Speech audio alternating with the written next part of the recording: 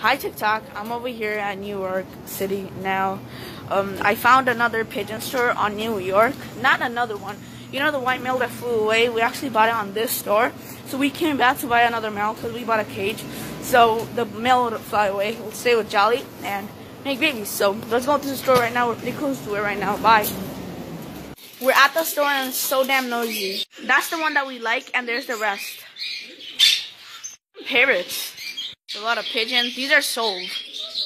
Budgies, cockatiel, English budgies, a pair of budgies, lovebirds, gray parrot. Guys, I'm in the train and this is the pigeon. It's in the little box and it's it looks similar to the one that I liked before. So let's go home.